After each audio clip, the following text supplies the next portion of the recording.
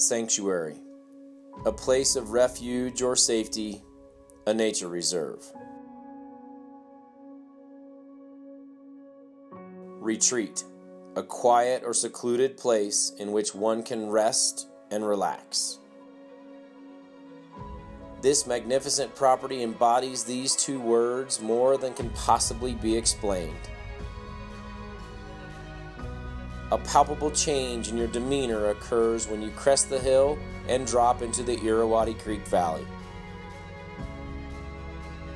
A welcoming warmth envelops you as you pass through the threshold of this handmade cabin, and you realize instantly that time no longer matters. Only those things in the deepest places in your soul matter. Explore those places, experience those moments.